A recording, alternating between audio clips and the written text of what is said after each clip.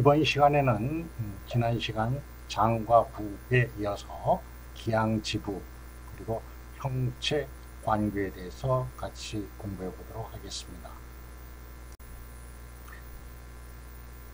제4절 기항지부 뇌, 수, 골, 맥, 담, 여자포 이렇게 여섯 기관을 기항지부라고 하는데 형태적으로는 부와 유사하고 기능적으로 전기를 저장하되 배출하지는 않아 장과 유사하며 구와, 부와 구별되고 장과도 다르므로 기항지부라고 이름하였습니다. 첫 번째 뇌 생리 기능은 정신 사유를 주관하고 두개골에 위치하며 뇌수가 모여서 구성되어 수의 바다라고 한다. 시각, 청각, 정신 상태와 관계가 있다. 다음 골과 수 생리기는 골격을 지지하고 영양작용을 한다. 골격은 인체를 지탱하고 내장을 보호하며 전신의 무게를 지탱 하는 작용을 한다. 신은 전기를 저장하고 전기는 수를 생성한다. 수는 골에서 충만해지고 골은 수의 영양에 의지한다. 수는 뼛 속에 있는 골수, 척추관에 있는 척수, 두개골에 있는 뇌수로 구분한다. 골수는 피를 만드는 조율작용을 하고 정과 수는 피를 생성하는 원천이므로 혈, 허 하면 신을 보하여 정을 충만시켜야 한다. 결국 혈과 골과 수는 서로 상호 전화하며 필요한 물질을 만들어내며 서로 보완, 영양작용을 하고 있다는 것을 알 수가 있습니다. 맥. 맥은 기혈의 통로로서 맥관으로 신과 통하는 강관이며 기혈을 운행시키는 통로이다. 맥은 혈의 집이다. 혈의 부이다. 기혈의 순행 속도가 느려지면 어혈이 생기고 빠르면 출혈이 생긴다.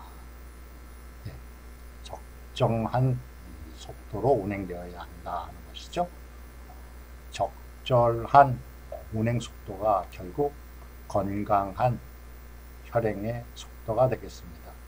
기혈과 장부 기능의 성쇠는 맥상, 맥박에서 맥에 반영되고 있다. 때문에 이러한 이론으로 진맥의 이론적 근거가 되고 있습니다. 여자포 생리 기능을 한다. 월경과 아, 임신을 주관하며 심, 간, 비, 신, 충맥, 인맥과 서로 밀접한 관련이 있다. 천계와 신장의 작용 정의 신의 전기가 충만해지면 천개가 만들어져서 생식 기간이 성숙하고 월경이 시작되어 태아를 잉태하는 데 필요한 조건을 갖추게 됩니다. 천개의 작용하에 인맥이 통하고 충맥이 성해져서 혈해가 가득 차면 월경이 시작됩니다. 14세 전후에 49세 전후가 되면 인맥과 청계가 고갈되어 폐경이 되며 형체가 묘세하여 생식 기능이 사라집니다. 27이 14에 천계가 열리고 77이 49세 전후에 천계가 닫히게 된다는 이야기입니다. 두 번째, 충맥, 인맥의 작용 충맥 인맥은 모두 자궁에서 시작된다. 축맥은 족소음 신경을 따라 움직이고 양면경과 통하며 12경맥의 기혈을 조절하므로 12경맥의 바다, 혈해라고도 합니다. 일원 3기 뿌리는 같은데 세 갈래 길로 나와 있는데 그 뿌리가 어디냐? 자궁이다. 인맥, 축맥, 동맥 네 가지로 갈라져 나온다.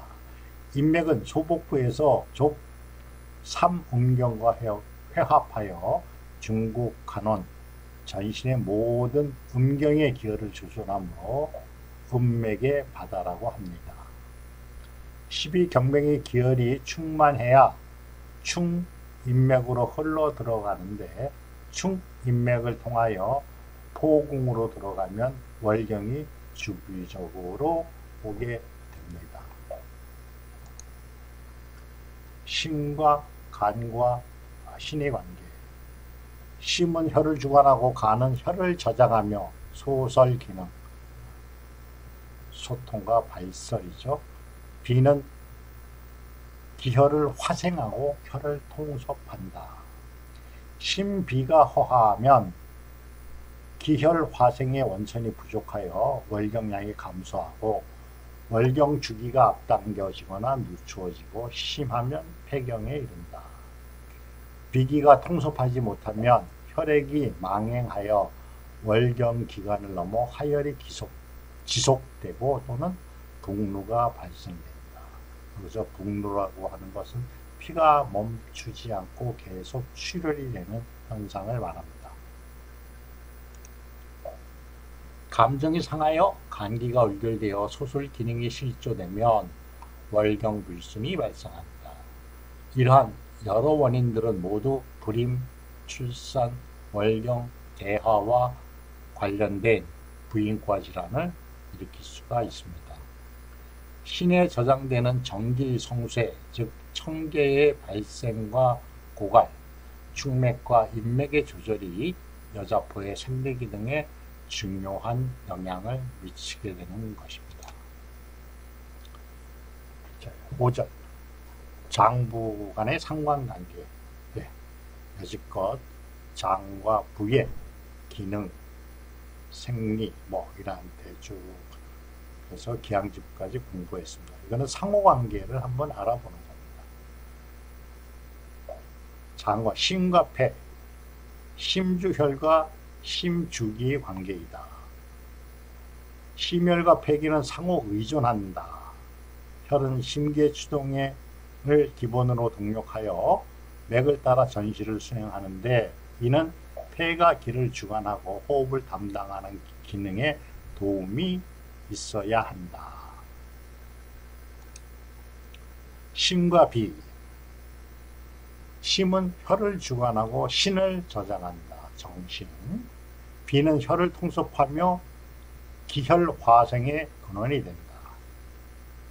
신과 비의 관계는 주로 혈액의 생성과 운행 및 정지 활동으로 표현되며 심장이 심지를 주관하는 기능도 기와 혈을 물질적 기초로 삼고 있는 것이다.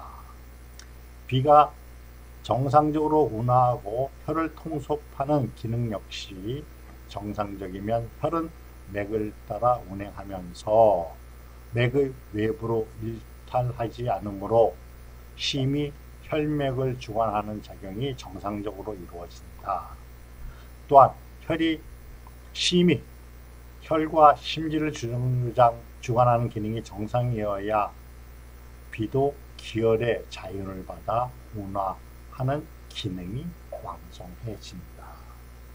서로 서로 기능의 보완에 의해서 각자 맡은 신과 비의 본 기능을 왕성하게 수행하게 되는 것입니다. 심장과 간 심장과 간에는 혈액 방면과 정신적인 방면이 심혈이 부족하면 간혈 역시 부족해지며 간혈이 부족하면 심혈 역시 부족해지는 양자의 상호 인과관계가 있다. 정신방면. 간은 혼을 저장하는데 혼은 사람의 정신, 정지 활동의 한 표현 형식, 형식으로 꿈과 환상 등의 감각은 혼의 표현에 속한다. 신과 혼은 나눌 수가 없다. 신은 심에 저장되어 있으므로 심이 안정되면 신이 맑아지며 혼도 신을 따라 움직이므로 신이 혼미해지면 혼도 터진다. 서로 인과 관계가 성립이 된다. 그죠? 신과 신. 심하는 신수로 하강하여 신양을 온후해서 신수가 한을 해치지 않도록 유지시키고 신수는 심으로 상승해서 심 음을 자양하여 심화가 항성되지 않도록 조절하는 작용을 한다. 이 두 가지 기능을 한자어로 수승화강이다 한다. 물의 신장의 물의 기운은 심장 위로 올라가고 심장의 화는 신장의 밑으로 내려간다. 수승화강이 조절이 잘 되어야 한다. 신과 신 이러한 상호 의존, 상호 제약 관계를 심신상교 수화 상제라고도 한다. 해와 비 기의 생성과 수액 대사 두 가지 측면으로 나타나는데 기의 생성은 자연계의 청기를 흡입하는 폐와 수곡정기를 운하하는 비는 인체의 기를 형성하는 주된 장부이다.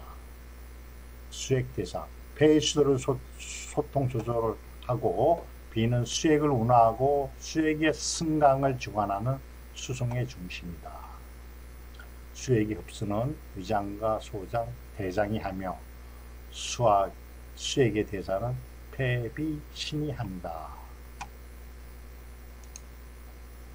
다음, 폐와 간 기기의 승강 방면으로 나타난다. 폐기는 상부에 있어서 폐기는 하강을 주관하고 간은 하부에 있어서 폐기는 상승과 소설, 소통과 발설을 주관한다. 양자는 서로 협조하면서 상승 하강함으로써 전신의 기기를 원활하게 소통시킨다. 다음 폐와 신 호흡과 수액 대사의 관계로 표현됩니다. 호흡은 폐가 주관하나 신이 주, 주관하는 납기 작용의 협조를 얻어야만 깊은 숨을 쉴 수 있고 폐가 청기를 받아들여 신으로 보내어 인체에 쓰이게 할 수 있다. 신주 납기 수액대사 방면에는 폐는 수도를 소통 조절하며 신은 수액을 주관하는 장부로 상호 협조하여 수액 대사를 이루는 역할을 한다. 수액 대사는 폐비심의 기화작용으로 삼초를 통하여 이루어진다. 간갑이 소설 기능과 혈액 운행과 관련하여 사호, 상호 연관성이 있다.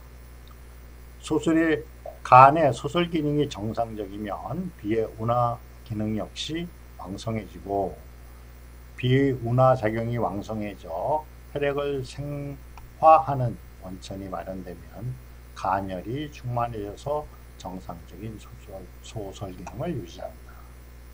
간이 혈액을 저장하고 비가 혈을 통섭하는 기능은 출혈을 방지하는 작용을 한다. 간장. 혈, 비통혈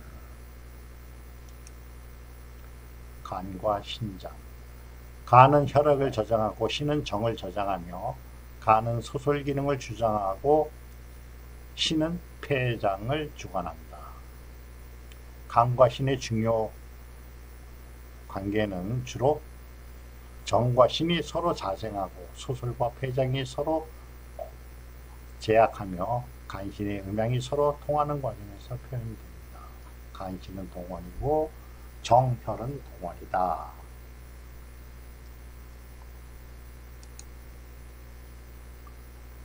다시 설명된 것들을 다시 정리해 보겠습니다. 간장혈, 신장정. 신정은 기화작용에 의해, 혈을 활성하고 혈도 전화하여 혈이 됩니다. 정혈동원, 간신동원. 그러므로 신정이 충분하면 간혈이 왕성해지고 간혈이 왕성하면 신정도 충분하여진다. 간주소설 신주폐장 간이 소설작용과 신장의 장정작용 사이에는 상호, 제약, 상반, 상성 관계가 존재한다. 이는 주로 여성의 주기적인 월경과 남성이 정상적인 정액 배설로 나타난다. 간신의 음양, 간과 신의 음이 강해져서 간과 신의 양을 제약하면 인체를 온화하는 상화가 숨어버린다. 비와 신 비는 수곡정기 정미를 운행하여 청계의 본이 되고 신은 정을 저장하여 장정하여 음양의 근원으로 선천의 본이 된다. 비의 운하는 반드시 신양의 온후 작용에 의존하며 신진대사를 유지할 수 있고 신의 정기는 비가 화생한 수곡 정미의 보충을 받아야 충만해지고 성숙 배설할 수가 있다. 수액을 운행하는 비와 술을 주관하는 신의 기능은 폐의 통조 수도 기능과 공동으로 수액 대사를 한다.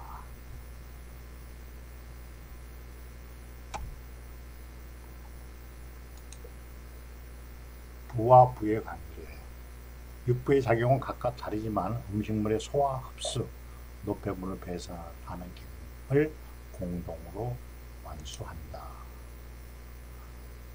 장과 부의 관계 강가당은 표리관계다. 모료와 결단의 상보상성한다. 담이 허하면 생각은 꾀하나 결정하지 못하여 우유, 우유부단해지고 간이 허하면 허하면 결정을 하나 생각을 못하여 독단적이 된다. 소설상관 간의 소설 기능이 정상이어야 담은 적당한 양의 담즙을 저장하고 정상적으로 담즙을 분비할 수 있으며 담즙이 분비가 순조로워야 간이 주관하는 소설 기능에 도움을 줄 수가 있다. 네. 신과 소장 신경이 화가 소장으로 열을 옮기므로 소변량이 적고 진해지며 배뇨시에 자결감이 등이 생긴다. 소장 실혈의 변증을 야기시킬 수 있다. 방대로 소장에 열이 있어도 경매에 따라 심으로 열이 치솟으므로 가슴이 답답하고 초조하며 혀가 붉어지고 입과 혀에 창량이 발생하는 등의 병증이 나타날 수도 있다.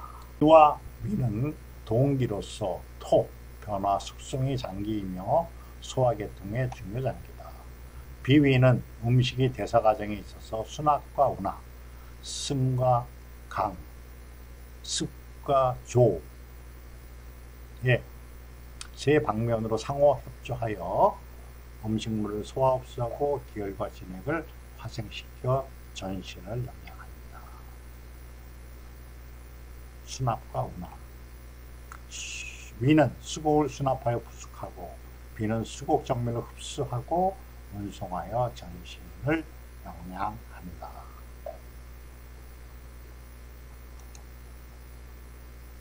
승강상인 비기는 상승하여 수곡 정밀을 폐로 보내어 전신으로 산포하고 위기는 하강하여 위에서 부숙된 음식물을 소장으로 보내 소화를 완성하여 비별 청탁하여서 조박을 대장을 통하여 배출시킨다. 조습상제 비는 생리적으로 습하기 쉬우니 희조 오습하고 위는 조하기 쉬우니 키윤 오조함으로 비위에 조습이 조절되어야 음식물의 소화 흡수가 원활해진다.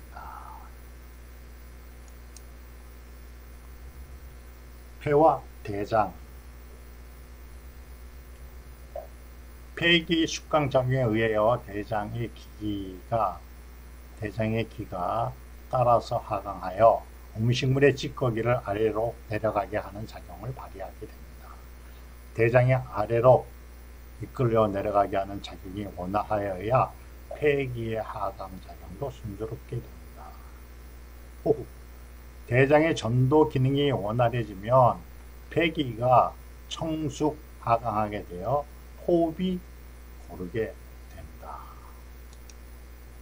신과 방광 신은 요액, 오줌을 생성하고 방광은 요액을 저장, 배출하는데 이 과정은 모두 신장의 기화 작용에 의한다.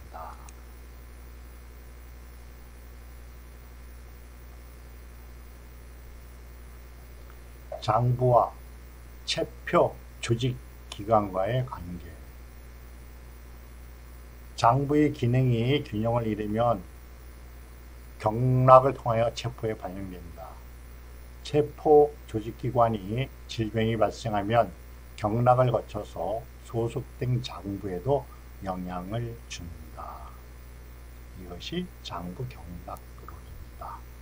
예를 들면 간은, 간은 근육을 주관하며 그 기능의 상태는 손톱, 발톱에 있으며 눈으로 공규가 열리기 때문에 간열이 부족하면 손발이 떨리거나 몸과 다리가 굳어지고 심하면 사지를 굴신할 수 없고 손톱이 얇아지고 연약해집니다. 또한 심하면 눈이 건조하여 시력이 감퇴하는 등의 증상이 나타납니다. 장과 부의 생리 기능은 다르지만 서로 관련이 있고 서로 의존하면서 인체의 정상적인 생리 기능을 유지하며 병리적으로 서로 영향을 줍니다. 예, 다음은 장상학의 마지막 챕터 형체 관규 형체란 오체를 말하는데 피, 육, 근, 골, 맥 의 다섯 가지 기관이며 관규는 쉽게 말씀드리면 구멍이 있는 곳입니다. 귀, 눈, 입, 혀, 비, 그 다음 인후, 전음, 후, 음 관계가 있다. 자, 오체 피부는 외사의 침음을 억제한다. 피부는 땀을 배출하여 수액대사를 조절한다. 피부는 땀의 분비로 체온을 조절한다. 피부는 호흡을 조절합니다. 예. 이러한 활동을 하는 것이 피부이고 피부와 폐, 경락과의 관계입니다. 피부와 폐, 폐가 피모를 주관하므로 피모의 영향은 폐기 선발 작용에 의존하며 피부와 위기, 위기는 피부와 주리에 분포하여 피부를 따뜻하게 하고 영양을 공급하며 주리의 개폐를 주관합니다. 피부와 경락 피부는 12경락의 기가 분포하는 구역으로 경락은 피부와 장부의 기혈을 연결하는 통로이므로 피부 색깔의 윤택, 그 다음 피부의 형태 등의 변화를 관찰하여 상하는 장부와 경락의 병변을 진단한다. 6. 근육조직, 지방, 피하 조직. 미트이죠. 6. 육의 생리기는 내장을 보호하며 근육은 내장과 근교의 외부를 둘러싸서 내장을 보호하는 작용을 한다. 외사를 막는다. 근육은 외사의 방어 기능이 있다. 운동을 돕는다. 인체의 운동 기능은 근육의 생리 기능과 밀접한 관계가 있다. 육과 장부, 그리고 경락관계. 육과 비, 비는 수곡정면 생성을 하여 기육을 살찌우며 위기는 피부와 근육 사이를 운용하면서 온분육, 비주리 작용을 한다. 건, 인대, 뭐, 근육, 건, 건. 근의 생리 기능. 골격과 관절에 부착되어 인체의 뼈와 관절을 서로 엮어준다. 그는 골격과 관절 사이에 부착하여 운동을 원활하게 한다. 근과 장부 경락의 관계는 근과 간, 간혈은 근맥을 영양하여 정상적인 생리활동을 유지한다. 근과 경락 12경근은 12경맥이 근육에 귀속된 체계로 그 주행 방향과 분포 규율이 12경맥과 일치한다. 네. 우리가 경락 경혈학의 정경, 14정경을 배우는데 그 어, 경락의 흐름의 길이 경근과 동일하다 하는 것입니다. 골, 뼈지요. 골의 생리기능. 골은 신체를 진퇴하고 내장을 보호하는 조직기관으로 생명활동을 유지하는 중요 조직이다. 골의 손상, 손상은 육과 근에 파급되어 지체의 운동 기능에 영향을 미치고 심하면 내장 조직기관의 기능적 활동에도 영향을 미친다. 골과 장부 경락의 관계 골과 신, 골격은 골수 영향에 의존하여 의존하며 골수는 신정에 의해 화생하므로 신은 골을 주관하고 골수를 생산한다. 맥, 혈맥 맥의 생리기능 맥은 기혈이 운행하는 통로로 수곡종류를 수정하며 전신에 영양을 공급한다. 맥과 장부의 경락관계 심의 양기는 혈액을 추동하며 백맥은 모두 폐에서 조회한다. 만난다. 폐조 백맥 관교 오관은 귀, 눈, 입, 코, 혀 이렇게 오관이고 칠규 오관에서 칠규, 칠관 거기다가 전음과 호음을 하면 구규가 된다. 이것이 간규의 관규의 전부입니다. 코, 아, 이, 귀. 귀는 청각을 담당하며 이각의 전신의 장기와 지체의 반응점이 나타난다. 이것을 근거로 프랑스에서 만든 이침이 개발이 되었던 것이고요. 신은 귀에 개교하고 귀의 승청작용은 귀를 자양하고 간 다음에 귀 역시 귀에 영향을 준다. 이와 신, 귀는 신이 외귀이다. 신은 귀의 생리 기능을 주관하고 신정이 손상되어 수혜가 부족하면 이명이나 이농 등의 현상이 나타난다. 기와 심장 신은 기로 개교하고 심은 화에 속하고 신은 수에 속하며 심화와 신수가 상부상조하면 청력이 좋아진다. 다음 기와 경락 기는 여러, 여러 경맥이 모이는 곳이다. 기를 직접 기를 수행하는 경맥은 양담경 수소양 삼청은 삼초경은 귀 뒷부분에서 귀 가운데로 들어가 귀의 앞을 지나간다. 조경명 위경은 협거에서 귀 앞으로 상행한다. 수태양 소장경은 외안각, 귀 가운데로 들어간다.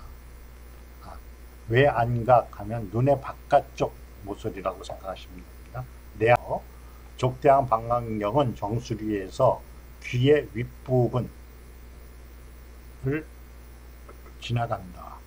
귀가 경맥과 전신에 걸쳐 있는 광범위한 관계는 이침으로 질병을 치료하는 이론적인 근거가 되고 있다 하는 것입니다. 어, 눈. 눈은 안정을 말하며 인체의 시각기관이다. 안구와 뇌를 연결하는 맥락을 목계라 한다. 눈과 간. 눈은 간혈의 자행에 의하여 시각 기능을 한다. 간음이 부족하면 눈이 마르고 거칠어지며 간혈이 부족하면 간 혈이 부족하면 야맹이거나 시야가 흐려지며 간 경락에 풍열이 들어가면 눈이 붉고 가려우며 아프다. 간화가 상념하면 눈이 붉고 부어오르며 아프다. 간 양이 상항하면 머리 가 어지럽고 눈이 침침해지며 간풍이 내동하면 사시가 된다. 사팔눈이 된다는 뜻이죠. 간과 눈, 눈과 간. 간과 오장. 눈은 오장육부의 전기가 흘러가므로 내재적으로 연락, 연결된다. 신장의 정은 눈동자로 흘러가고 예. 간의 정은 검은 눈동자로 흘러가며 심의 정은 눈의 혈맥 여기가 어딘고 하니 눈 안쪽 모서리 아래로 보면 그 붉은 살점 같은 게 있을 겁니다. 그것을 눈의 혈락 그 다음 폐의 정은 눈흰자로 가고 비의 정은 눈꺼풀로 흘러간다. 이거에 의해서 오륜 어, 학설이 성립됐다. 눈을 보고 오장육부의 장부의 기능을 판단하는 진단하는 방법이 있습니다. 이건 전문 과정에서도 자세하게 공부하시게 될 겁니다. 오련 목 기운은 눈의 검은 자이다. 간이 나타나며 풍륜이라고 한다. 간풍, 풍륜. 화, 목화, 화는 심으로 안gat 안쪽에 모세 혈관이 있다. 혈륜이라고 한다. 목은 비의 장부로 눈꺼풀이다. 육륜이라 한다. 금은 폐의 장부로 눈의 휜자위를 말하며 기륜이라고 얘기합니다. 오륜입니다. 수, 신장을 말하며 눈동자 정 가운데 수륜이라고 말합니다. 네, 여기 있네요. 눈 안, 여기에 화,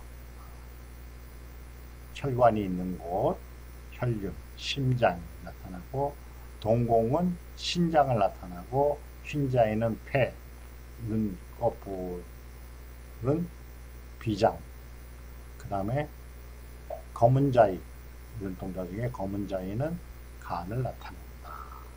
풍륜이라고 합니다. 예, 그림으로 되어 있네요. 예.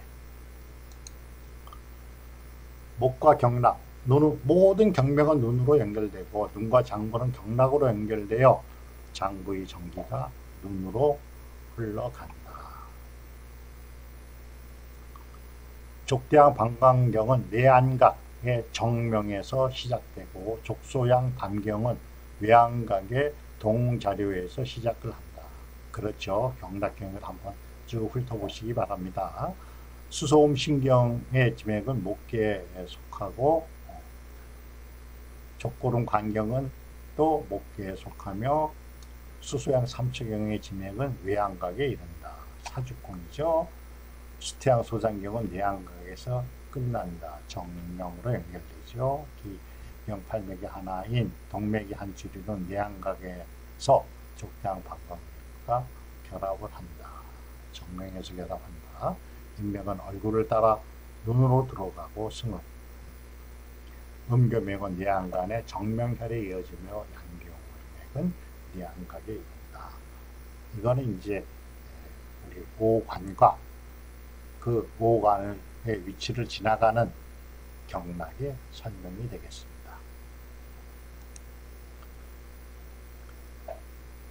다음 코, 비 코의 생리기는 기능은 호각을 담당하는 것이며 기체가 출입하는 문이다. 비와 코, 코는 폐의 규로 코의 통기와 후각작용은 폐기의 작용에 의존한다. 비와 뇌, 코와 뇌, 코는 족대항 방광경, 동맥 및 뇌와 상통하므로 코와 뇌는 생리적으로 밀접한 관계가 있다. 네, 코와 뇌가 밀접하다. 그래서 비염이 생기면 집중력이 떨어지는 거죠. 어, 네. 축농증도 마찬가지입니다. 머리가 띵하고 집중력이 떨어지는 것이 코와 뇌는 연관이 있다. 비와 경락, 조경명 위경은 비익의 측면에서 시작하여 비근부로 상행해다가 코의 외측을 따라 하행하여 윗 잇몸 영양이나 정명 승급사 이런 곳으로 어, 지나간다. 수양병 대장경의 지병은 인중에서 좌우로 교차하며 콧구멍의 양측에 분포되어 있다. 족대왕 반경은 내안각에서 시작하여 정명혈이죠. 이마로 상행한 다음 정수리에서 교회한다. 수태양 소장경의 지맥은 협각 협부에서 비방을 지나 양각에 있다.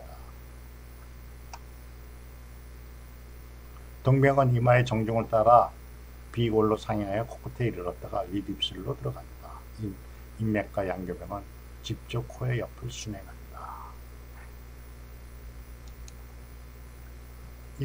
입과 혀 입과 혀의 생리기는 수곡을 받아들이고 오미를 분별하여 진액을 분비하고 곡식을 갈며 음성을 내는 것이다. 구, 설과 심, 비. 비는 입술을 주관하며 심은 혀를 주관하고 혀는 심장의 묘목이며 비의 내적 징후이다.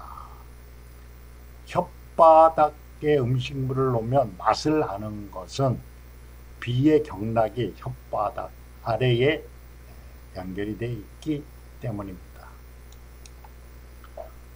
입과 경락, 수양명 대장은, 대장경은 입의 양측을 순행하며 하치로 들어가며 조양명 위경은 상치로 들어가 입의 양측으로 나와 입술을 돕니다. 족구름 관경의 지맥은 뺨속으로 흘러 입속에 들어가며 동맥은 하향하여 음교에 이르고 인맥, 축맥은 인으로 지나 상향하여 입술을 돕다. 설과 혀와 경락, 수솜신경의 별락은 설본에 연결이 되고 족대원 비경은 설본에 이어지며 설하에 분포된다. 족구름 간경의 지명은 입술의 내부를 돌며 족솜 신경은 목구멍을 지나 설본의 양측을 순행하고 족대원 반경의 경고는 설본에 연결된다. 인호. 인호는 첫째로 호흡을 하고 발성을 하고 둘째로는 음식물의 통로가 됩니다. 인후와 폐, 위. 이는 위계에 이어지고 위계통에 이어지고 후는 폐계에 속한다.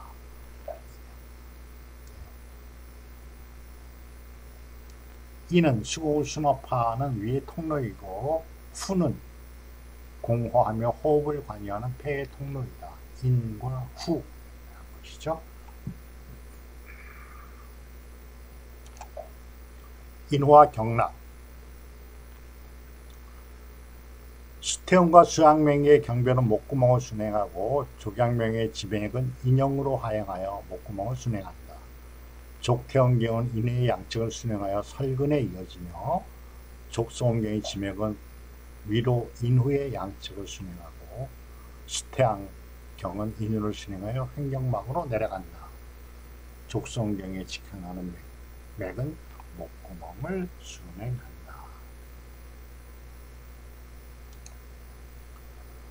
수거름의 경변은 상행하여 목구멍을 순행하고 족상의 경변은 상해 인후의 양측을 순행하고 족고는 경우 목구멍을 순행하여 연구계로 들어간다. 기경 팔맥의 동맥은 아랫뼈를 지나 직성하여 인으로 든다. 인맥은 인으로 가고 축맥에 상행하는 지맥은 인의 상부와 비도로 나오며 음교맥은 인으로 가서 축맥과 교차한다. 제가 쭉 빠르게 설명을 하는데요. 경락, 경혈이 끝나면서 하나하나 책과 연결해서 보시면 인지하기가 쉬울 것입니다. 전음과 호흡. 전음은 남녀 생식기 및 요도의 총칭이다. 남성의 전음은 음경, 음낭, 고환을 말하며 여성의 전음은 음문과 묘공을 포함한다. 전음은 배뇨 생식을 하며 호흡은 항문, 백문이라 하여 대변 배설을 한다. 이 음과 장부. 전음의 배뇨 기능은 신의 기여와 개합 작용에 의하며 전음의 생식 기능 역시 신의 기능에 의존하며 신이 저장한 정에 의해서 화생된 청계는 인체가 생식 기능을 유지하는 데 필요한 기본 물질이다. 신과 호미 관계는 대변 배설에서 나타난다. 대변의 배설은 대장, 비위 기능과 관련되나 신양, 신음과도 관계가 있다. 신양이 부족하면 비양도 허해져서 운하함으로 오경설사 혹은 허환, 설사 등이 나타나 하리, 물동을 막 산다는 게 하리입니다. 오경설사는 새벽설사라고도 합니다. 신양이 부족하면 비양, 신양허 비양어 하면 오경설사, 허한하리 등이 나타난다는 뜻입니다. 신양이 부족하면 진액을 증화하여 장도를 자연하지 못하며 신음이 손상되어도 대장을 자연하지 못하므로 모두 장도가 건조해져서 변비에 걸린다. 전음과 간 족구는 광경은 대퇴 내측을 순응하여 음모로 들어가 음기를 돈다. 생식기를 한번 순행합니다. 간이 근을 주관하므로 종근이 맺히는 곳인 전음의 생식 기능은 관과 근기가 있다. 간열이 부족하면 월경이 줄어들고 간하고 항진하면 여자의 경우 월경이 많아지고 남자의 경우 조루, 유정동이 병변이 발생한다. 간이 소술하지 못하면 여자는 생리 주기, 경기가 불규칙해지고 남자는 발기하지 못한다. 호음과 비장 음식물은 비에 의해 소화 흡수되고 그 정면은 전신에 흩어지며 찌꺼기는 장으로 수송되고 대장에 의해 전도되어 호음을 통해서 배설한다. 비허하면 설사를 하고 중기하함하여 대변 실금 등의 증상이 나타난다. 똥을 시린다 하는 것이죠. 대변 실금. 이 음과 경락. 조건은 관경은 음기를 지나며 족소양 담경은 음모제, 곡골이 있는 데가 있죠. 족양명 위경의 근은 음기에 모이며 족, 태음, 경맥에 직행하는 분지도 음기에 모입니다. 족소형의 근은 족태음이 근과 함께 상향하여 음기에 모이며 족고름의 근도 음기에 모인다. 인맥은 중취 하부에서 시작하여 음모제로 상행한다. 동맥은 아랫배 밑이 골 중앙에서 시작하여 음기에 낙하며 여자의 요도구에 이어지고 남자의 음경을 수행하여 회음에 이른다. 음교맥은 대퇴 내측을 수행하여 전음으로 들어간다. 예. 이상 기항지부 형체 강교까지의 강의를 마쳤습니다.